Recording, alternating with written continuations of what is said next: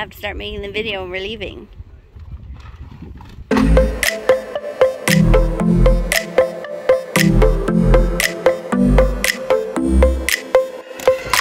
Good morning friends and welcome back to the channel. Today we're setting off on a weekend road trip to the town of Borsh in Albania. We are starting the morning here in Saranda, where we live for about half the year.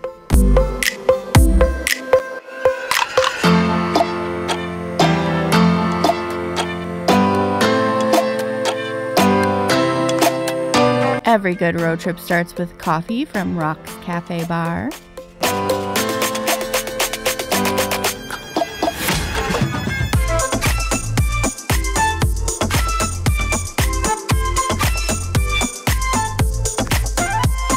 The drive to Borsh only takes about an hour and it's very scenic.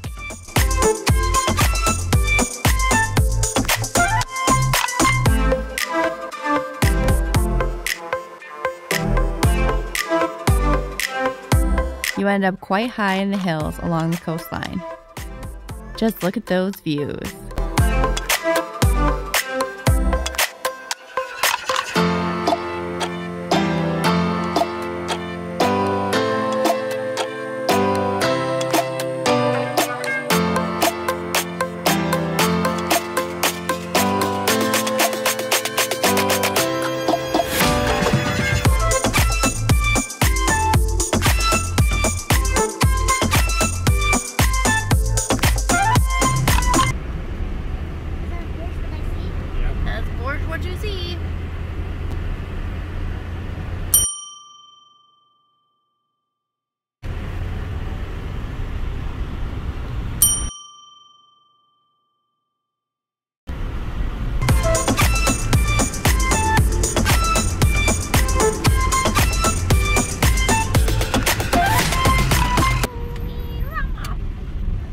Staying at Onirana Apartments for the second time. Oh Lord. It's a small, family run hotel with amazing views, and you can even order a homemade meal.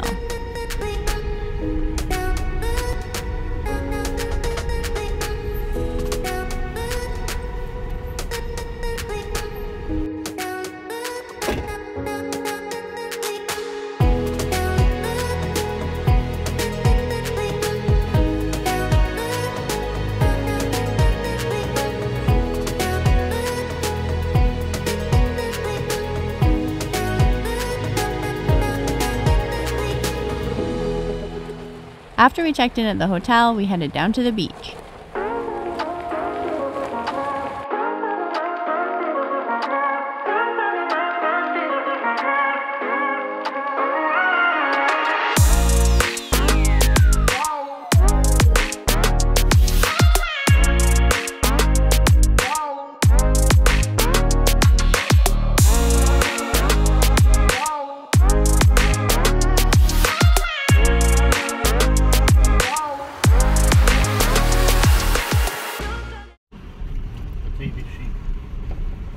Borsh isn't as famous as other towns in the Albanian Riviera, so nothing much is open at the beach outside of peak summer months of July and August.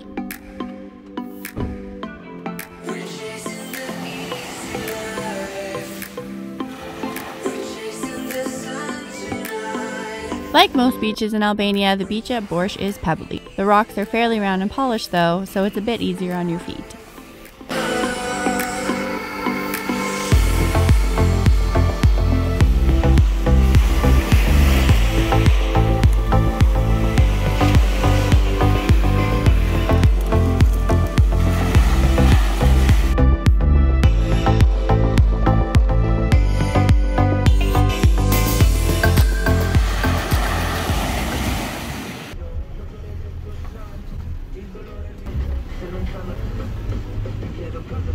After this, we headed back up the hill to our hotel.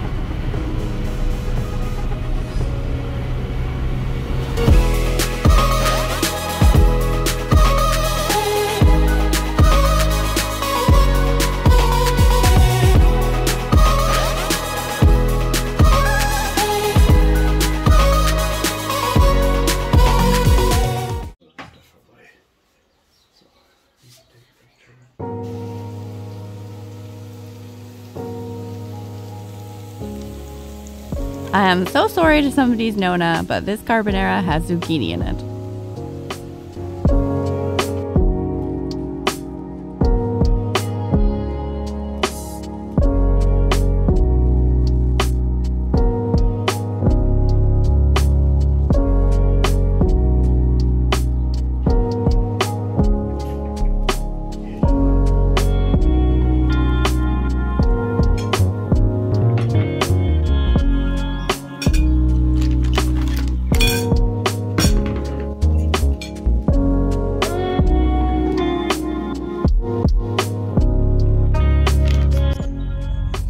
Onirana is the perfect place to watch the sun go down.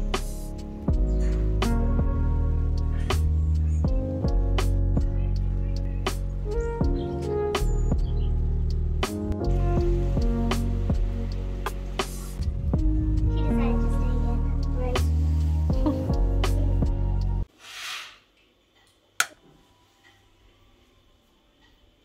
It was up here. A wasp. Moth.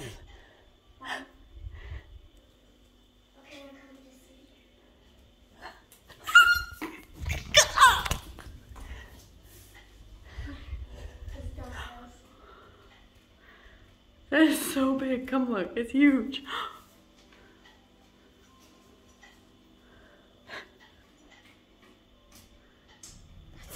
No giant moths were harmed in the making of this film.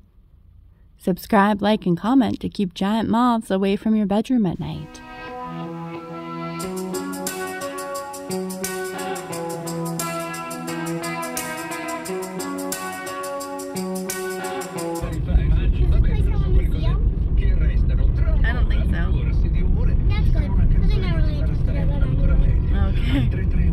Today we are going to Ujvara, Borsh's most famous restaurant.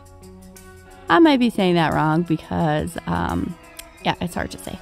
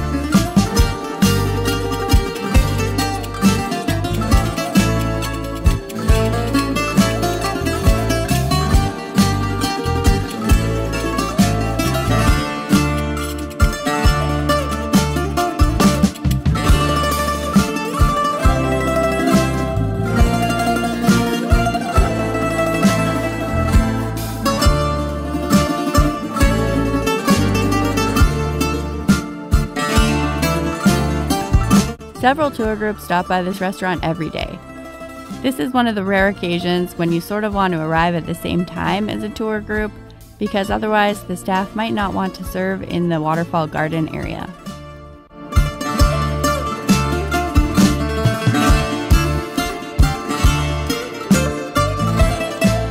After Ujvara, we headed up the hill to visit the castle of Borsh. The first time we drove this way, we weren't sure how the road would be. It is narrow, but it's wide enough for two vehicles and it's in good condition. Is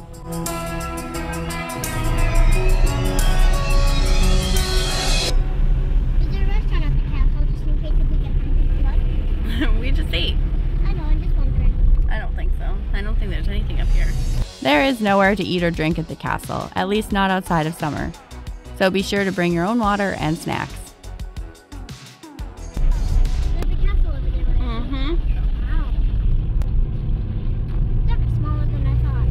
It's true, the castle does not look very big from below, because only the mosque is still standing in the ruins. Here, the road abruptly ends, and the path to the castle begins. Maybe not. Nope, maybe not. There is lots of room to park your car, and the road isn't very busy.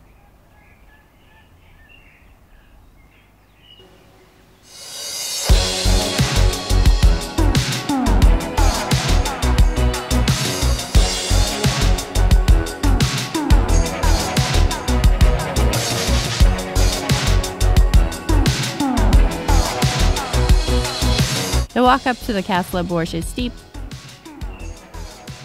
but the path is in good condition and the views are amazing.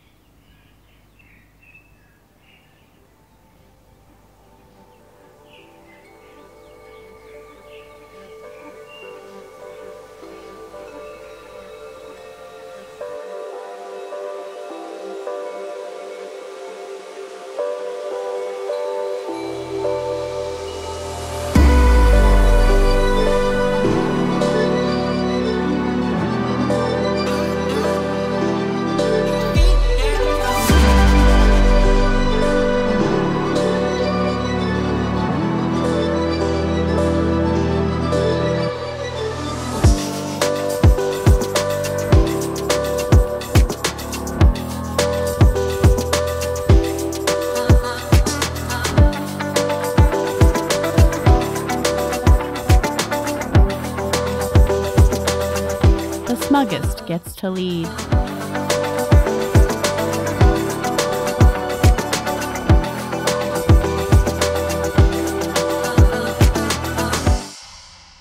Once we reached the castle, we were surprised at how big the ruins are.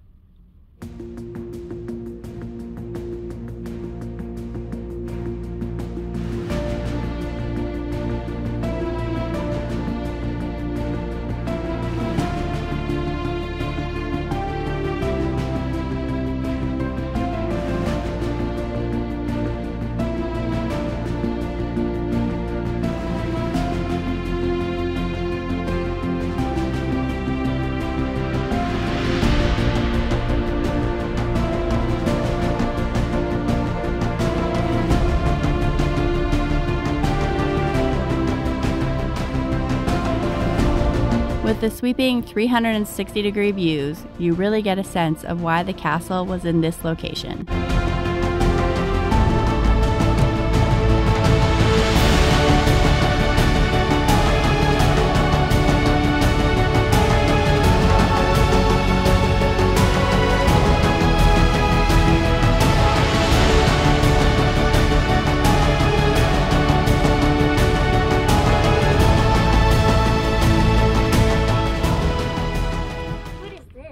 This? Is the mosque. It was built in the 18th century.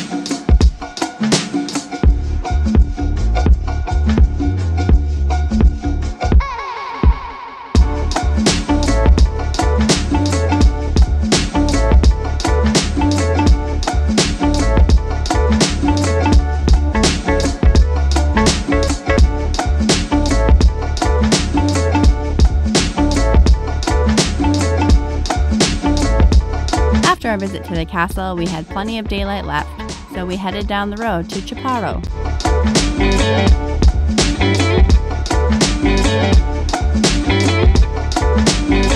At the end of this semi disused looking road, we were surprised to find a proper parking lot and even other tourists. We had wanted to go here, to the abandoned stone village of Upper Qeparo, but decided not to risk the road. At least not this time.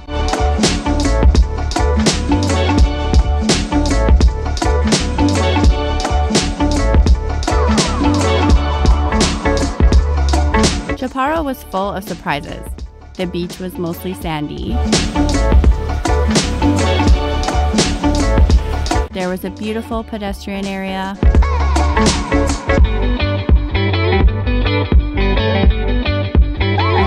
And there were natural springs running into the sea.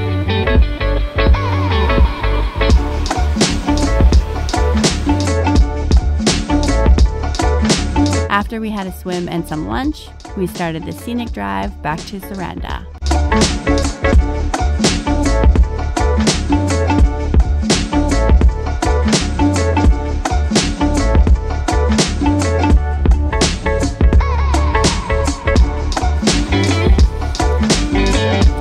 We ended the day as usual with a beautiful sunset. Thanks for watching, everybody. Please hit the bell and like the subscribe button.